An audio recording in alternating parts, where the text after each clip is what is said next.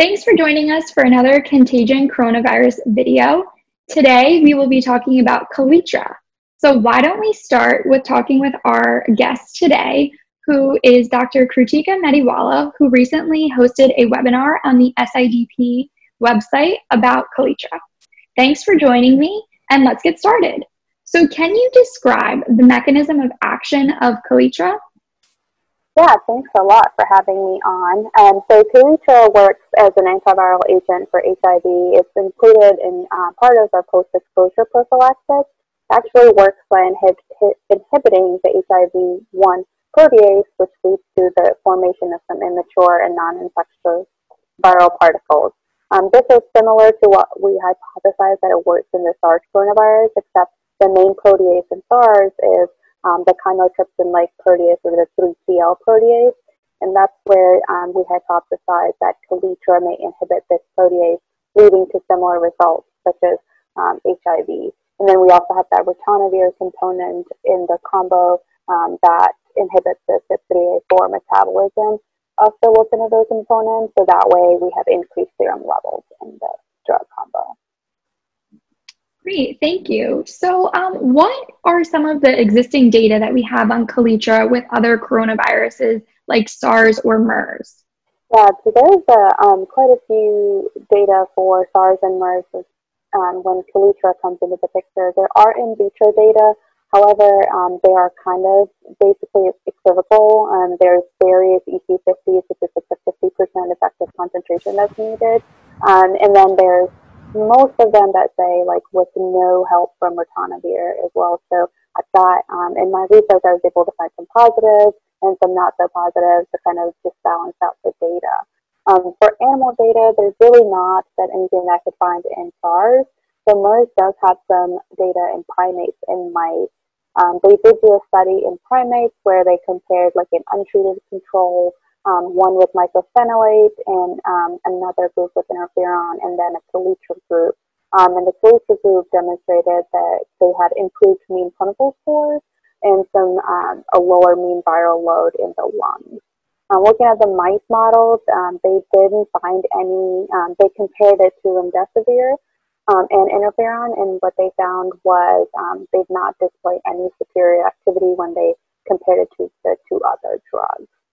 Um, when it comes to human data, I wanted to just keep um, this in mind that most of them have been done in combo with ribavirin and steroids. Um, so all these studies will have that as a component, and then they either add Kaletra or not to the um, treatment group.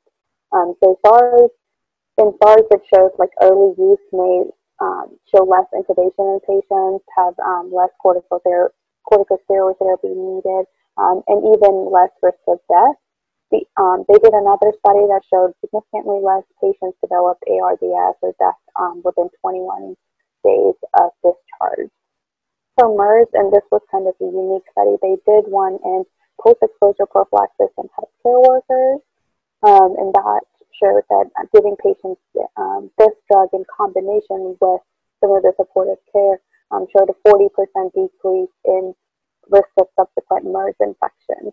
They don't talk a lot about some of the adverse events that could take place, so we'll talk a little bit about that later on, but um, no severe adverse drug events were noted in any of these studies.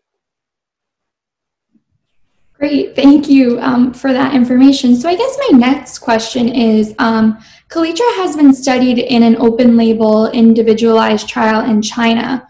So what data have we seen from that research so far?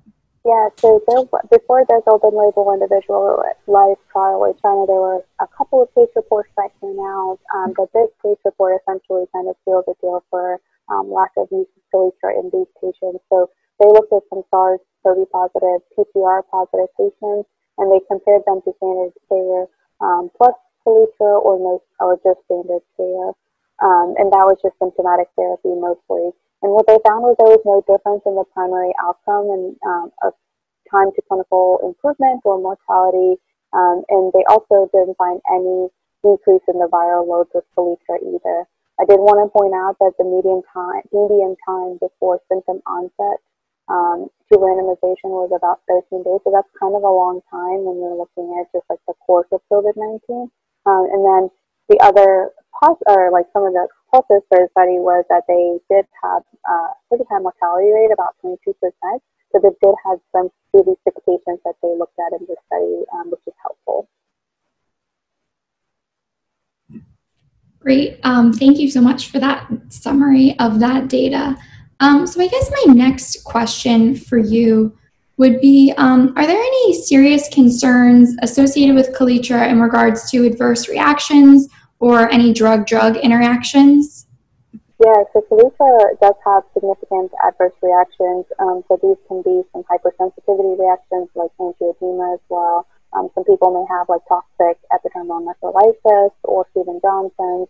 It can prolong the QT and cause some arrhythmias.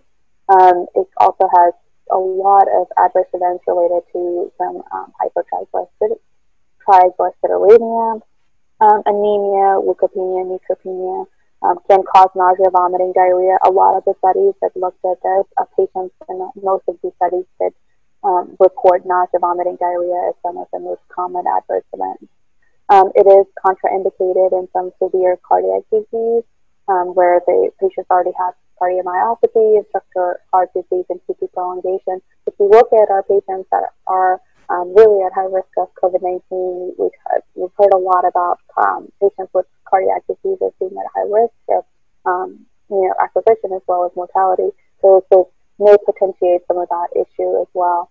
And the last thing, when it comes to drug-drug interaction, like I mentioned before, it is um, that ritonavir component does have the CYP3A4 inhibition. So it interacts with um, some of our other HIV meds, our um, hepatitis C meds, some antifungals, amiodarone, tacrolimus. So some of these like um, drugs that are really important for immune compromised patients. Um, it's very important to kind of run run run that drug drug interaction check. So, my next question for you is actually one that we received from an attendee of a contagion webinar that we had this past week. Um, and that audience member wanted to ask if you have any comments on the ribavirin and Kaletra combination.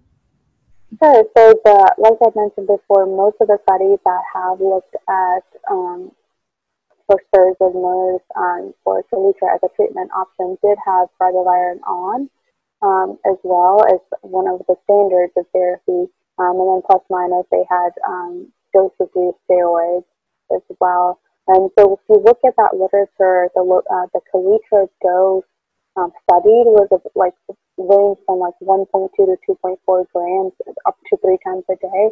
Um, and that compared to what we normally use ribavirin for, those doses are very, very, very high. Um, and we really worry about the tolerability, the toxicity that this can cause in our patients. Um, specifically, the risk of hemorrhagic toxicity is too high. So, based on all of the data that you've included and the available information, what is your final opinion on um, Kaletra in regards to COVID 19 treatment?